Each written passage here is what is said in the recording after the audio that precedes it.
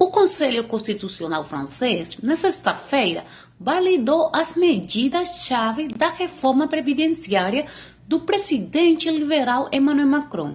Decisão que desencadeou uma resposta imediata de rejeição nas ruas, após meses de protesto, que foi recebida com reforços pelos manifestantes reunidos na Praça da Prefeitura de Paris. Pouco antes cantava constitucional ou não, não queremos esta lei. Vamos continuar até que seja retirada e Macron fora. Relatou a agência de notícia AFP. Quanto tempo o senhor acha que os protestos na França vão continuar?